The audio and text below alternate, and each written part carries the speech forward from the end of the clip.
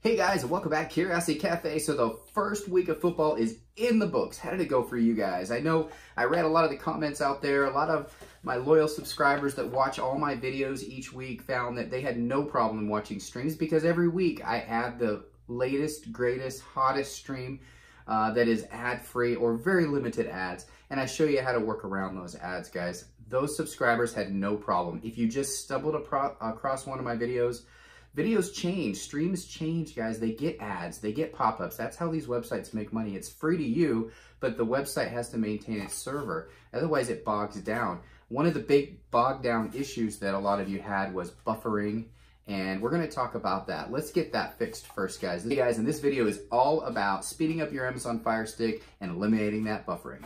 Check it out.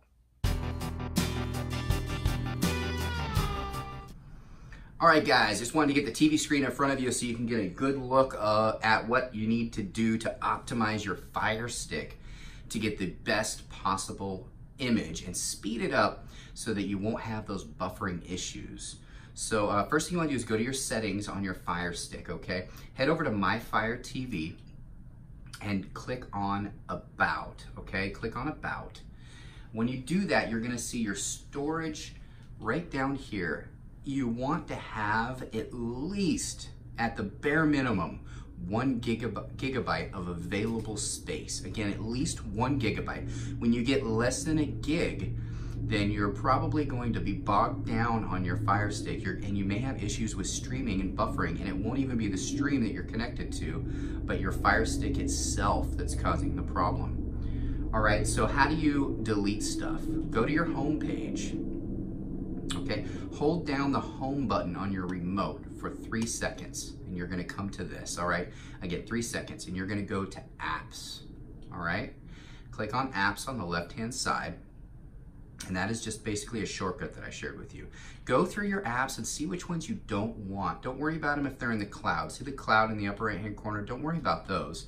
But if you don't need one, say you don't want your cat and mouse, then you can just delete that by hitting the three dashes on your remote going down to uninstall. So you may have some uh, apps that you don't need, that you don't want. Like I don't use Philo. So let's delete it. Let's hit the three dashes. See the options in the bottom right hand corner of the screen?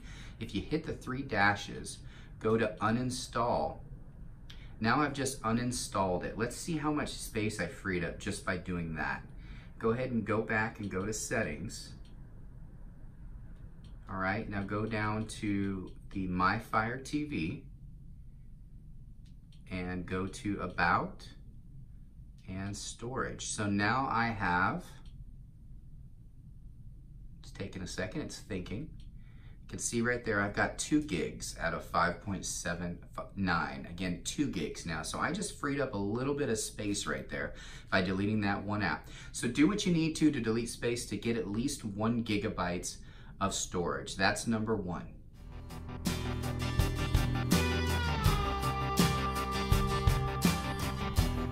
All right, guys, now number two is your internet speed. Is your internet speed fast enough? That's going to be a huge factor as to whether or not it buffers when you're watching live TV or live sports. Buffering issues can be can be a, a pain. It frustrates the heck out of you. I know it frustrates me when they buffer, when you're a little bit behind, or when it skips, or when it freezes during the video, um, or you know you get the three dots that are going across the screen. I know the frustration. I've been there. I upgraded my internet because of that. I'm gonna share an app with you that I use that you can kind of tell if your internet is actually capable of streaming effectively, all right? It's called Speed Test, and it looks just like this. And I'm gonna have it up on the screen right here, guys. If you test it with this app right here, you wanna be at at least 100 millibytes per second. That's your speed minimum to be able to stream well without buffering. If it is your internet, not the internal space on your Fire Stick, but the internet speed that's causing the problem. That's what you want to check. So what is yours right now? Comment down below and let me know what yours is. If it's lower than 100, as you can see what mine is here, it's much higher than what you might be dealing with. So that, therefore, I don't have those buffering issues that you might have. So test it out, comment excuse me, comment down below. Let me know what you have. Maybe we can work out ways to try to increase that speed. Maybe get an internet boost, or maybe you can contact your internet provider and ask about a faster internet. This is if you're going to be streaming TV or movies or, or games frequently. You may want to consider a faster internet. All right, and number three.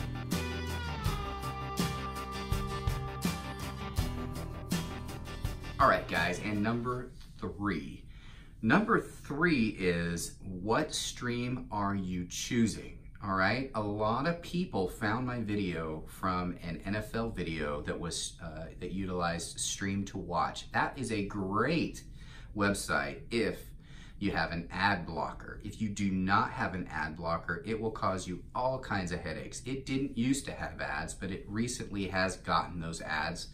That is why I always update my subscribers and those that have notifications turned on will be notified every single week of the latest and greatest streams.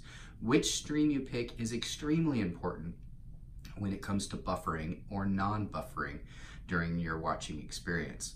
So if you try one that I recommended two months ago, you may have issues versus ones that I just posted yesterday.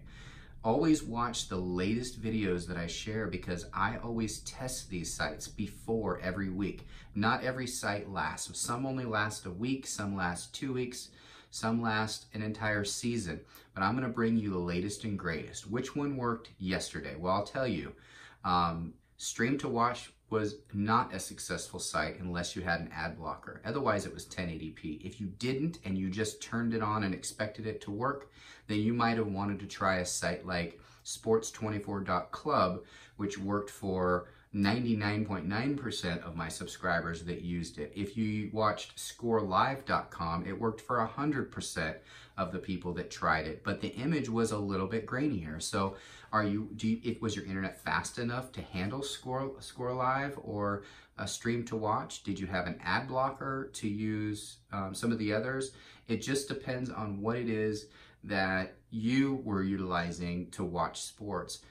Again, make sure you have that notifications turned on, guys, because I'm going to bring you the latest and greatest stream every single week, okay?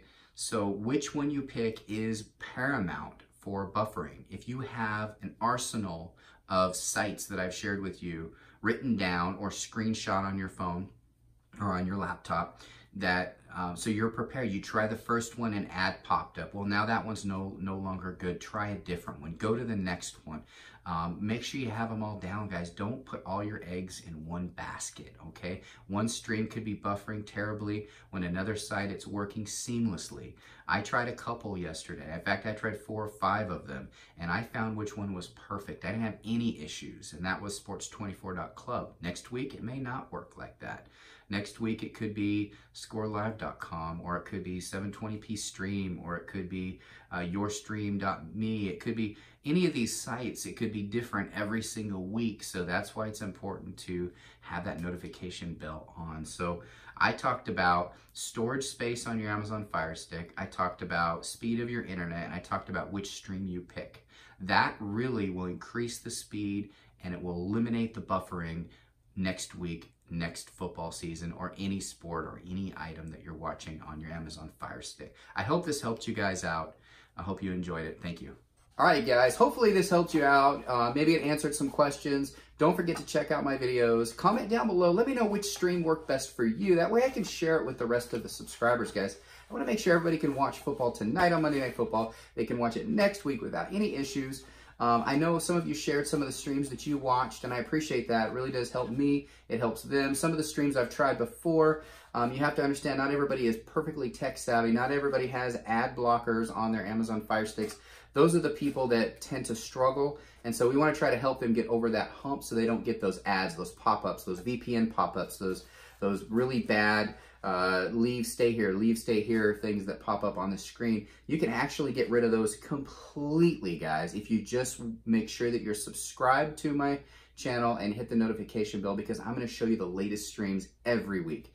Thanks again for watching. Hope you enjoyed the video. Bye.